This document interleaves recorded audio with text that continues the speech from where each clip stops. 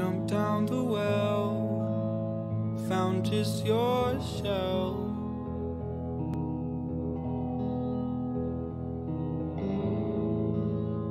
You'll find yourself, I'll fix myself. But if your sentence is a short